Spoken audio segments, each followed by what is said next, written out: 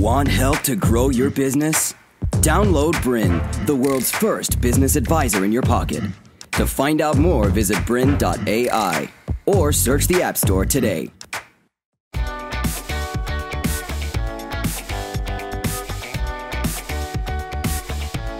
Hello and welcome to Masters of Business. My name is Dan Gregory. I'm also known as the fat one off the Gruen transfer, but that's because people on Twitter suck. But what I'd really like to talk to you about today is how do we build a brand that people love? Now, why would we want to build a brand that people love? Well, well, the main reason is it creates an environment of attraction. It means you don't have to work quite so hard to make every sale, to find new business. But before we get on to how do we build a brand that people love, let's have a look at what's happening in the marketplace that's driving this need to build that brand. And I think the first thing that we can all agree on is that we're living in an age of unprecedented change. Don't you think? I mean, just 20 years ago, my business partners and I were the only people we knew who had email addresses. Classic early adopters, right? The only people we could send email to was each other. Spent the whole day going, Can I borrow your pencil? Send. Did you get it? And yet, I now approve video content that gets emailed to my iPhone as a YouTube link. 20 years, just long enough for one generation to reach adulthood, and the world has changed in ways none of us could have predicted. And we say things like we like change, don't we? We say things like, oh, change is as good as a holiday, but we don't really mean that. Just try putting change in a staff member's remuneration package in place of their annual leave. Yeah, we'll see how far that gets you. In fact, human beings, even those of us who are early adopters, are hardwired to resist change. We find change threatening. When Coca Cola changed their formula and invented New Coke, it almost destroyed their business. Every time Facebook changes their layout, people lose their minds. Burger King took the Whopper off the menu for one day in 2010, and this is what happened. The Burger King doesn't have the Whopper. They might, they might as well change their name to Burger Queen. Yeah. So we don't particularly like change. In fact, we find change threatening. And a lot of that change is being driven by the fact that we're living through a, digital revolution, the equivalent of the industrial revolution that changed the world about 100 years ago. There's a lot of people out there in the world that are currently working as blacksmiths, Miss Smiths, and just don't realize it yet. And this digital revolution is changing eh, the way we do business. It's changing all kinds of businesses. Think about how we buy music today versus how we used to buy music just five or 10 years ago. Or how we buy books today versus, you know, a decade ago. When I released my first book, I went to book signings at bookstores. You don't do that so much today because there aren't so many bookstores around. And this is changing every industry, even those industries that are far more about personal relationships and human connection. You know, even the real estate industry, if you think about how we buy a house today versus how we used to buy houses, you know, you used to have to go to a real estate agent to find out what was for sale in a particular suburb or a particular area. But today, you go to realestate.com.au or you go to domain.com.au, you have a look at pictures of the house, you have a look at the, the, the price fluctuations in the neighborhood on, on, the houses either side. You do a virtual tour, you've been inside the house. You haven't even spoken to a real estate agent. So, this digital revolution is fundamentally changing the way we, we, do business and fundamentally changing the way we connect with other human beings. It's even affecting us at a values and a cultural level. Today, one in five American couples found each other through online dating. One in five. You know, we used to get dressed up or, or shave or put on makeup before we went out on a date. Today, we're all just learning how to use Photoshop. So, this digital revolution is changing the way we do business. And it's changing the way we, we seek the opinion of other people. It's changing who we look to as influencers. Today, social networking is the number one internet activity ahead of porn. Ahead of porn. Apparently, today we really just do want to be friends. But by population, Facebook is now the third largest nation on earth in just 10 years. This is changing the way we connect. It's also changing the way we build our business reputation. Today, TripAdvisor is the most influential travel organisation on the planet, more so than any hotel group, more so than any airline. And they don't actually produce anything. All they do is, is orchestrate information and opinions shared by their users. The other thing that this digital revolution is doing is it's raising the levels of our accountability. There's no, more su- there's no such thing as a secret anymore. If the CIA can't keep a secret, none of us can keep a secret people can now see further inside our organisations than at any time in history. So, this is changing the way we need to think about reputation management. Because the other thing that's going on is what I like to call business modification. In other words, our very uh, the business models that we, we base the way we do business on are changing. People that used to be in the services industry are moving into the product industry. People who used to produce products are now creating services around those products. In other words, the entire business model is fundamentally changing. That certainly affected the business that I used to have. You know, I had an advertising agency for 20 years. You know, and when I began my advertising career some 25, 30 years ago, this is what my secretary was supposed to look like. This is not what my secretary looks like in 2016. This is what my secretary looks like today. I mean, I've updated the wallpaper. You know, this is the office I was supposed to have when I began my advertising career. But this is what my office really looks like. And the other thing is, this is the model of leadership I was promised when I began my career. Me at the top, obedient minions beneath me. But you know what? That's not the model of leadership that showed up.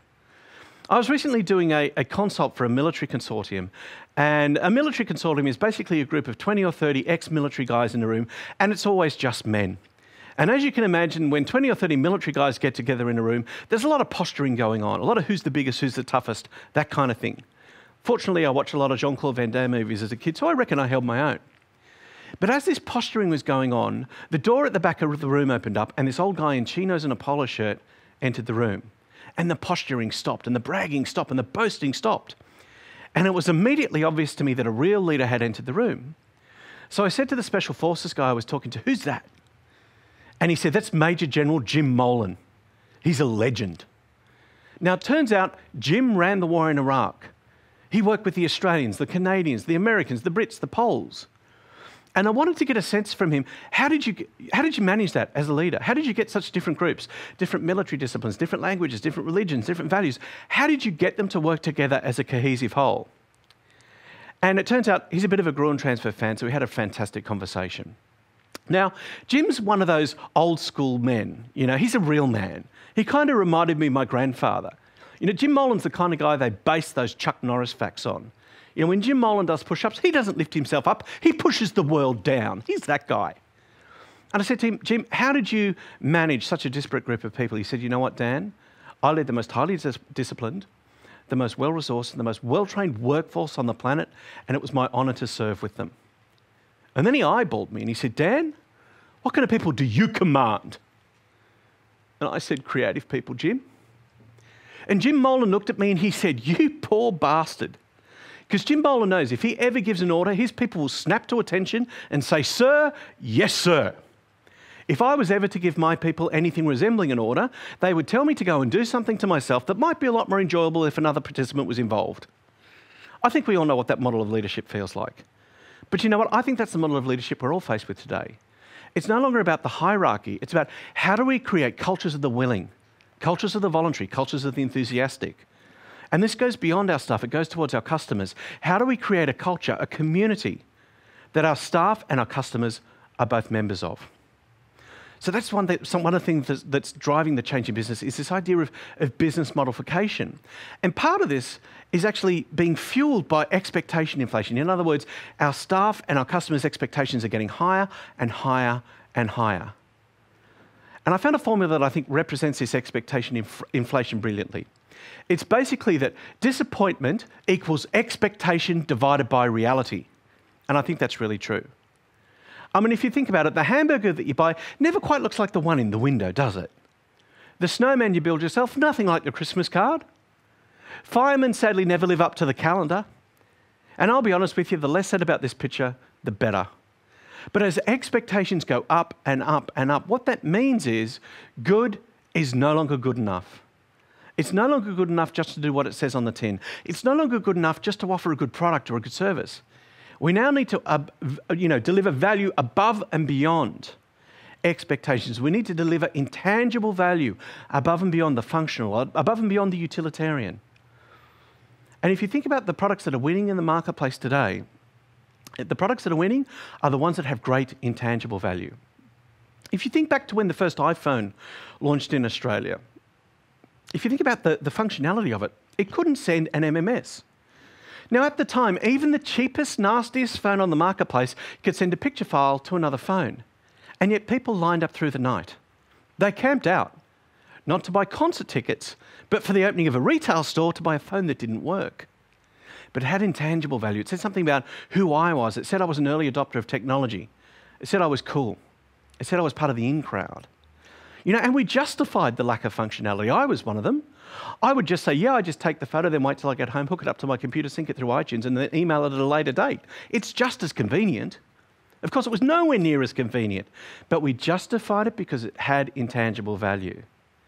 You know, look at something like, like the Philippe Starck orange juicer. You know, the Philippe Starck orange juicer will take juice out of an orange. I mean, it does make your kitchen wall, floor, and counter look like an orange serial killer's been at work, and it costs $150. But that's mostly margin, because it's not about juicing the orange. It's about my design aesthetic. It's about the impression I want to make on people when they come to my home. The, you know, the kind of environment I'm trying to create. That's where the intangible value is. And that's where products are winning in the marketplace today. It's not just about the functional value you build into your product or your service, it's about the intangible value that you offer your customers when they do business with you. So let's have a look at, at how we can build a brand that punches above its weight, how we can build a brand that, that really brings people to them, that people love. First thing I want to say is show me who you help me to be. Show me who you help me, me to be. Now, why does that matter in marketing? It matters because all human behavior is driven by our sense of identity. In other words, everything we do, every decision we make, every product that we buy is filtered through who we think we are and who we want to project to the world that we are. Let me just step back and run you through a little of the history of the behavioural sciences. Now, it really kicked off in the 1600s with Blaise Pascal and decision theory. And Pascal's theory was, was that human beings look at all of their available options, then they weigh up the pros and cons, and then people make the most logical decision possible. How's that working for you? Of course, that's not what people do at all. And then people like Daniel Goleman came along and said, well, no, it's not just about intellectual intelligence, it's also about emotional intelligence. EQ is just as important as IQ. And of course, he's right. You know, every decision we make is filtered through how that decision will ultimately make us feel. Now, of course, we post rationalize a lot of those emotional decisions, don't we? You know, there's a lot of men in the advertising industry driving around in Porsches that can tell you all about Porsche's racing heritage, German engineering, and aerodynamics, but all we're really after is some special hugs from women half our age. You know, but we like to post rationalize that very emotional decision. But then people started to wonder well, what's the most important emotion? if we want to be influential? What's the most important question we can ask if we want to be engaging, if we want to be persuasive? And people like Simon Sinek came along and said, well, it's all about why. Why drives how, which determines what. Viktor Frankl said exactly the same thing 50 years earlier in Man's Search for Meaning. With a big enough why, you can achieve any what. And they're right. The problem with why is it's often temporary. Anyone who's ever been on a diet knows exactly what I'm talking about. You know, if you've got a big enough why, maybe a school reunion or a wedding or a hot date, you can lose the weight, right? You get on the treadmill, you eat nothing but lettuce, and you look fabulous. But then six months goes by and the why disappears, and all of a sudden you're back sitting on the sofa in your sweatpants, watching Oprah and eating chicken out of a bucket. Because at some point you remember you're the fat one off the Gruen transfer and our identity. The need for identity congruence drives our decision making. Unless you're able to create an identity that's more powerful, more compelling, more attractive than the one I currently hold, it's really hard to drive behavioral change. Because this sense of identity drives why we buy products. You know, people don't say, well, I bought a Macintosh computer or I bought some Apple hardware. They say, I'm a Mac. They want to say something about themselves. They want to say, I'm a crazy one, I'm a misfit, I'm a round peg in a square hole. Mostly what they're looking to say is, I'm not a PC. And this behavior shows up everywhere. You know, people buy dogs that look like them. People buy cars that look like them. There are kids in the United States with names like Mercedes and Lexus, and they need your help. So, this sense of identity drives everything we do. It drives how we purchase, the associations we make, the, the kind of organizations that we want to do business with. To continue enjoying this presentation, download BRiN, the world's first business advisor in your pocket. To find out more, visit brin.ai or search the App Store today.